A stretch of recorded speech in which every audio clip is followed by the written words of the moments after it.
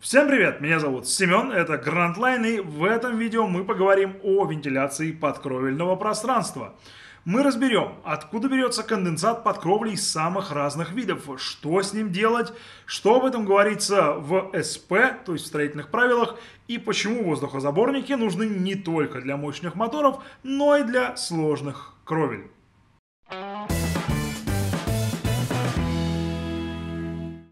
Итак, давайте начнем разговор от проблемы. И ключевая здесь это, конечно, конденсат. Давайте рассмотрим конденсат пока что на отвлеченных примерах. Легендарные кадры из фильма «Титаник» подходят нам как нельзя лучше.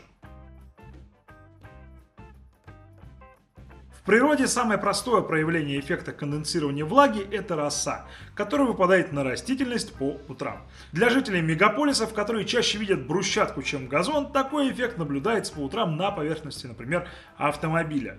Для тех, кто сомневается, что это конденсат, мы написали слово «конденсат» на конденсате. Ну а для тех, кто предпочитает тотальную самоизоляцию, эффект конденсирования влаги можно увидеть, если достать из холодильника прохладительные напитки и оставить их в теплом помещении на некоторое время. Если подвести итог, то как ни крути, любой охлажденный объект в теплой влажной среде будет конденсировать на себе влагу из воздуха при определенной влажности и температуре. Сочетание этих двух параметров, влажности и температуры, составляет значение так называемой точки росы. В рамках этого видео достаточно. Глубже в теплофизику мы не пойдем. Главный для нас вопрос, откуда берется конденсат на кровле. Все здесь просто. Когда меняется температура воздуха, ну, например, при резком изменении погоды, что часто бывает в нашем климате, кровельный материал также охлаждается, а вот воздух в подкровельном пространстве еще теплый. А ведь вы уже прекрасно знаете, к чему приводит соседство теплого воздуха с холодными объектами. Выглядит это обычно вот так – Особенно это актуально для утепленных мансард, где воздух подкровельного пространства дополнительно нагревается из-за теплопотери мансарды, ведь воздух в вентозоре соприкасается с верхними слоями утеплителя. Кроме того, количество конденсата и вероятность его образования может увеличиваться, если в мансардной крыше применен материал, не предназначенный в качестве парабарьера, или материал был поврежден, или не проклеены стыки, а также примыкания. Таком случае вся избыточная парообразная влага отправится через утеплитель и мембрану прямо в подкровельное пространство. Кстати говоря, такие проблемы легко диагностируются даже визуально. Например, по отсутствию снега на крыше, что свидетельствует о перегреве кровельного материала. Так что еще раз подчеркиваю, что мансардные крыши нуждаются в хорошей пароизоляции, в том числе и для того, чтобы не увеличивать количество конденсата на обратной стороне кровельного материала. Хотя, конечно, удивительно, насколько взаимосвязаны между собой разные элементы крыши. Итак, у нас выпал конденсат на внутренней стороне кровли, и вы спросите, что ж тут страшного? Мириться с конденсатом явно плохая идея для долголетия утеплителей деревянных конструкций, даже при наличии хорошей подкровельной мембраны. Что делать? Ну, была бы не кровля автомобиля, я бы посоветовал включить обдув лобового стекла. Но что делать с внутренней стороной кровли? На самом деле не ставить же туда вентиляторы вдоль всего карниза. Ну, Конечно, нет. Необходимо организовать естественную подкровельную вентиляцию, то есть систему воздухообмена, которая будет максимально эффективно синхронизировать влажность и температуру воздуха в подкровельном пространстве и воздуха окружающей среды.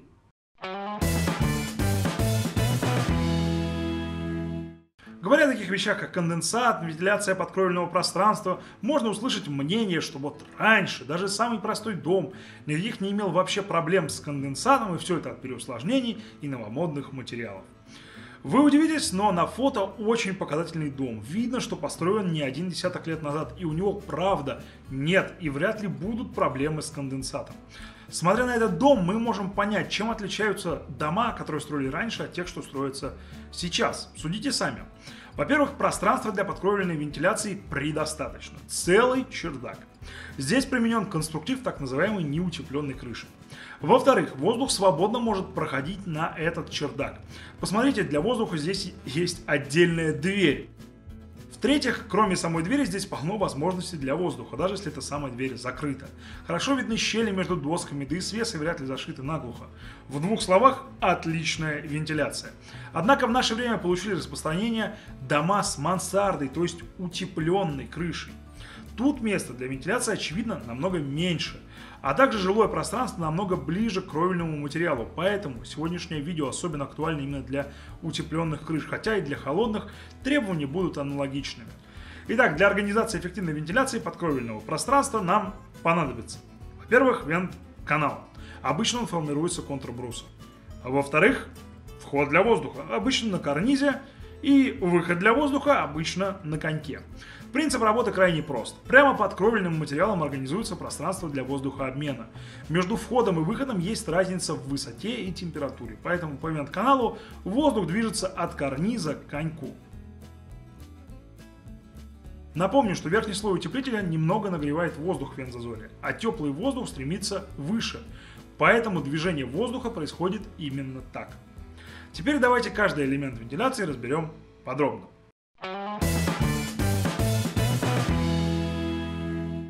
Итак, для эффективного воздухообмена нам необходимо организовать вентиляционные каналы. Можно, конечно, сделать и без вент-каналов, но в таком случае конденсат не будет выветриваться вообще. К чему это приводит, мы уже обсуждали выше. Поэтому, если это видео смотрит гражданин из Поволжья, который сделал для выставки вот такой стенд, обязательно свяжитесь с нами любым удобным способом. Мы вышлем вам вот такой стенд. Там вент-каналы показаны правильно. Итак, для создания вент-каналов нам понадобится применить контррейку, и от ее высоты будет зависеть высота этого самого вент-канала. Но вот какую конкретно контррейку нам нужно использовать? 25 брусок, 50 или еще больше? Для ответа на этот вопрос обратимся к строительным правилам по кровлям. Тут вполне ясно сказано, что высота вент-каналов, а значит и контррейки, не может быть меньше 50 мм, а в некоторых случаях может быть и больше, в зависимости от угла наклона и длины ската. Да, вы все правильно услышали, дюймовый брусок для контррейки использовать не стоит, минимум 50 мм. Чтобы разобраться, в каких случаях контррейка будет еще выше, идем ниже, в приложение А2. Для примера, возьмем односкатную крышу в клик-фальцем Pro, длиной ската, скажем, в 10 метров, вполне стандартные размеры для крыши загородного дома. Обычный дом такого вида в современном стиле выглядит как-то вот так. Исходя из тех данных, что у нас есть, нас интересует вторая строка таблицы. Это значит, что при угле наклона не ниже 20 градусов мы вполне можем использовать стандартную контррейку высотой в 50 миллиметров. Но чем ниже будет угол наклона, тем выше нам потребуется делать вент-канал.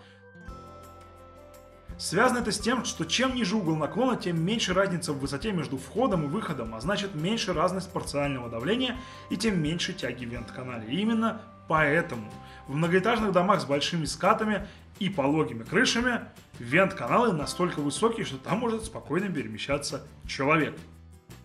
Что мы имеем по итогу? Контррейка не меньше 50 мм, а для особо длинных и пологих скатов даже больше. Если у вас есть вент-канал, он необходимой высоты, то можете принимать мои поздравления. Самые верные решения в жизни вы сделали правильно. Ведь переделка вент-канала без демонтажа кровельного материала и обрешетки невозможно. Но для того, чтобы в вент-канале произошла магия воздухообмена, нам необходим вход и выход. Об этом мы и будем говорить дальше.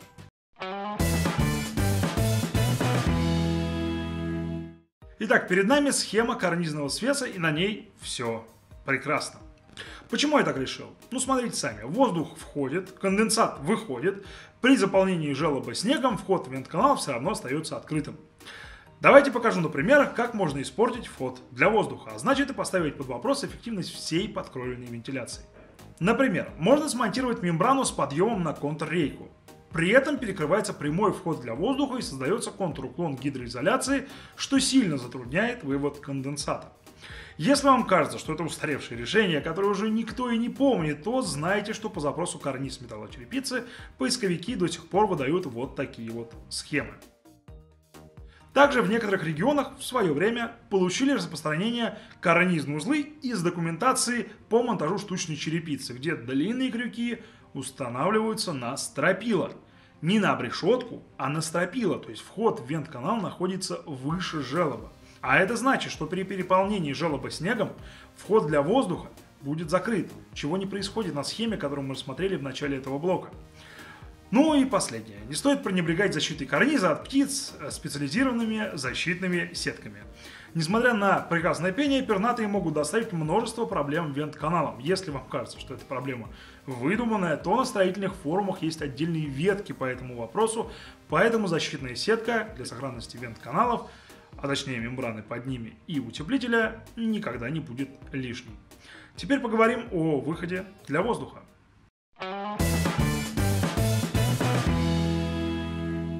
Начнем с того, как делать выход для воздуха через конек не нужно. Точно не нужно сводить обрешетку наглухо, так как воздух не сможет выходить. Между листами, как вы понимаете, тоже стоит оставить зазор, чего на этом фото не было сделано. Поэтому, как и во всех подобных случаях, обращаемся к схеме из инструкции. Хочется оговориться, что рекомендации, которые мы даем, относятся не только к металлочерепице, но и другим кровельным материалам. Например, сводить наглухо листы ОСП при монтаже гибкой черепицы тоже не следует. Давайте снова посмотрим на предыдущий узел. Тут видна еще одна необходимая часть. Это аэроэлемент. Дело в том, что между планкой конька и металлочерепицы есть заметные щели. Это, кстати, очень замечательно для вентиляции, с одной стороны, но с другой Именно туда в снежную погоду может заметать просто неприличное количество снега. К чему это приводит, я думаю, в этой части ролика вы и сами можете догадаться. Поэтому между двумя скатами мы применяем специальную защитную ленту аэроэлемент. Она не препятствует выходу воздуха, но и не допускает снег в подкровельное пространство. Нет, конечно, мы можем решить проблему с задуванием снега совсем уж радикально, применив пену, но опять-таки это перекроет нам выход для воздуха. Конечно, если это не пена Line. Шутка, все равно нельзя. Проблему задувания снега можно решить также с помощью уплотнителя под конек, но и тут есть несколько проблем. Главное из которых состоит в том, что уплотнитель уменьшает необходимую площадь конькового зазора в соответствии со снипом, поскольку он сжимается коньковой планкой. И это помимо того, что не все уплотнители продуваются в принципе. Поры уплотнителя со временем забиваются пылью и пыльцой, из-за этого он теряет воздухопроницаемость. Плюс его любят растаскивать птицы.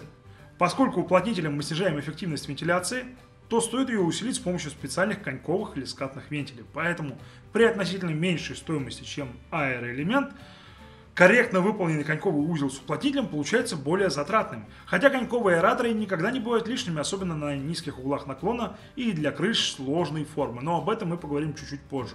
В случае применения, например, гибкой черепицы, функция вывода воздуха и защиты от снега осуществляется специальным коньковым аэратором. Повторюсь, что вне зависимости от выбора кровельного материала, Правила правильной подкровельной вентиляции меняются мало, меняется лишь способ их реализации.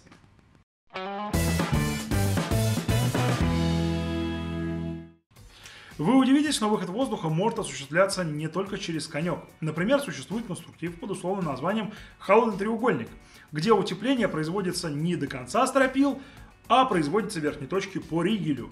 Дело в том, что на этот маленький чердачок приходятся все основные теплопотери и влагоперенос из дома. А это значит, что при плохой вентиляции конденсат может выпасть на обратной стороне мембраны.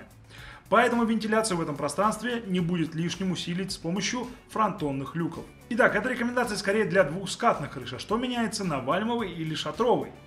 На крупных треугольных скатах не будет лишним установка точечного аэратора в верхней точке треугольника. Дело в том, что хребет или наклонный конек работает на выпуск потока менее эффективно, чем горизонтальный конек. Поэтому в такой ситуации имеет смысл перестраховаться. Кроме того, для эффективного перемещения воздуха между каналами стоит сделать разряженную контррейку. Если у вас применен конструктив холодного чердака или вообще холодная крыша, то на крыше в альмовой форме фронтонный люк вам будет даже некуда поставить. Ведь, как странно это не прозвучит, у вальмовой крыши нет фронтонов.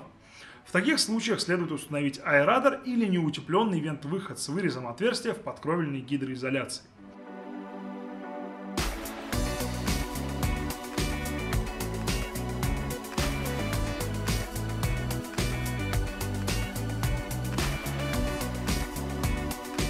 Кроме того, для некоторых крыш выход воздуха может осуществляться не через конек, а через примыкание к стене. Как вы понимаете, просто прибить планку примыкания к стене значит перекрыть выход для воздуха. Понятно, что если мы имеем дело с небольшим скатом под крыльцо, то этот способ вполне подойдет, но для примыкания к стене скатов в длине 3 метров и тем более утепленных требуется правильно выполненное вентилируемое примыкание. Итак, основная часть нашей программы подошла к концу, и мы разобрались в том, как правильно организовать вент-канал, вход, выход.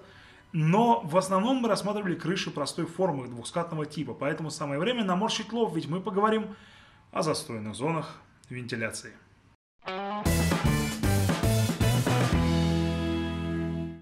Итак, держитесь, мы на финишной прямой. Вот двухскатная крыша, вроде бы ничего сложного. Вход для воздуха на карнизе, выход для воздуха на коньке. Для пущей надежности конек усилен коньковыми аэраторами. Но обратите внимание, что вент-канал под трубой имеет вход, но не имеет выхода для вентиляции. А значит, всей этой области суждено стать застойной зоной.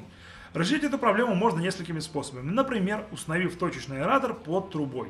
И теперь воздух в этом вент-канале может выходить через кровельный вентиль.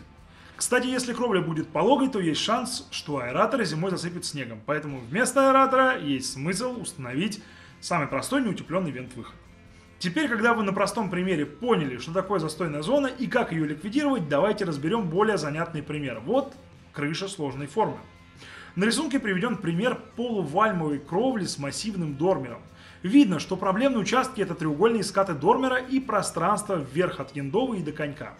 Яндова, а конкретно часть ската над ней, это почти всегда достойная зона. Есть проблема в отсутствии входа, так как карнизный свет в данном случае не работает. Насчет вентилируемого примыкания, вот тут, наверное, не стоит усложнять, скат явно небольшой. Обратите внимание на три первых вент-канала справа. С ними, кстати, все в порядке. Есть вход, есть выход, все как доктор прописал. Слева от них начинается застойная зона. Первая мысль поставить точечный аэратор на самом верху застойной зоны. Но проблема это не решит, ведь воздух любит идти самыми прямыми путями. Поэтому мы усилим тягу, но вот застойным зонам это не поможет. Нам необходимо разрядить контррейку, и вот это действие позволит перетекать воздушному потоку из зоны эффективной вентиляции в застойные зоны. Не будет лишним разрядить контррейку в яндове, чтобы на маленький треугольный скат слева от яндовы тоже мог проходить воздух. Если говорить о том, как это будет выглядеть не на примере одного ската, а всего дома, то для вот такой вот вальмовой крыши с дормерами мы рекомендуем следующее расположение аэраторов. Логика следующая. По одному аэратору на вершины треугольных скатов по одному коньковому на коньки дормеров, по одному аэратору над каждой яндовой, всего 4. Для экономии можно заменить на два коньковых вентиля. Как вы уже поняли, сложность формы крыши напрямую коррелирует со сложностью вентиляции подкровельного пространства.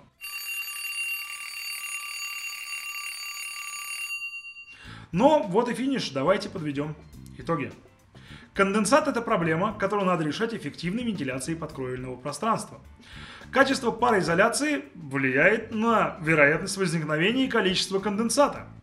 Для вентиляции нам нужно три вещи. Вент-канал, вход и выход для воздуха. Высота вент-канала должна быть не менее 50 мм.